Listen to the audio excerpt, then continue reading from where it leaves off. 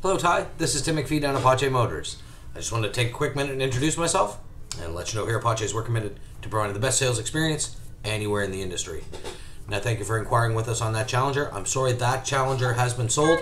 I do have another one here, which is a 2020 model. It has less than 10,000 kilometers on it, and this one is in excellent condition as well. We got a price on this one at 46,995, and if you, I can give you any interest in that vehicle, please feel free to give me a call. Thanks very much, I look forward to talking with you.